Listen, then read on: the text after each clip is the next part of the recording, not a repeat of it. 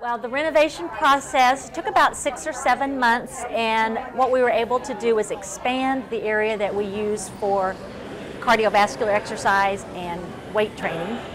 We were able to add a second group exercise room. We now have two beautiful group exercise rooms, and we were able to add an area specifically for personal training. This facility is actually open to students and faculty and staff and our community members.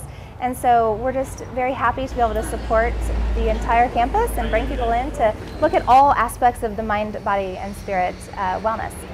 We have things like massage therapy to you know really come in and maybe de-stress a little bit. We have um, nutrition classes. We also have cooking classes. We have a wide range of different fitness classes, group fitness classes where you can come in and, and have some fun with Zumba or maybe you know, relax a little bit with yoga. Um, we also have personal trainers available to really help you uh, take a look at what you're currently doing or if you're not currently doing anything, really get started and, and make it personal to fit your body. That's, that's what we do, is develop programs for our employees. And I don't think you see that at um, even a handful of other universities across the country.